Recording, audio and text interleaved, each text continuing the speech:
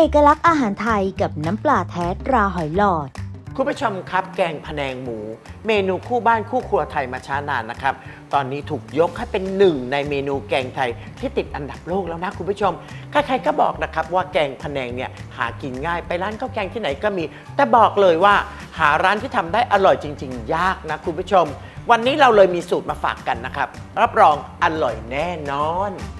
วันนี้เรามีเมนู แกงพะแนงหมูมาฝากกันค่ะ วิธีทำใส่น้ำมันพืชลงในภาชนะนำขึ้นตั้งไฟพอร้อน ใส่น้ำพริกแกงพะแนง ผัดจนกระทั่งมีกลิ่นหอม เติมกะทิผัดให้เข้ากัน ใส่เนื้อหมูสันคอหั่นชิ้นเต๋าและใบมะกรูดฉีกผัดพอสุก ปรุงรสด้วยน้ำปลาตราหอยหลอดรสดั้งเดิม และน้ำตาลปี๊บคนให้เข้ากันแล้วปิดไฟ ตักใส่ภาชนะตกแต่งด้วยใบมะกรูดฉีก และพริกชี้ฟ้าแดงแกะสลักดอกไม้ พร้อมเสิร์ฟค่ะกับเมนู แกงพะแนงหมู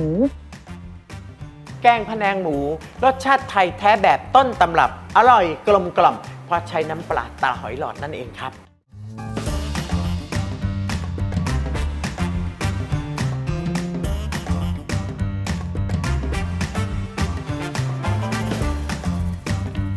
ส่งเสริมเอกลักษณ์อาหารไทย อย่าลืมใช้น้ำปลาแท้ตราหอยหลอดนะคะ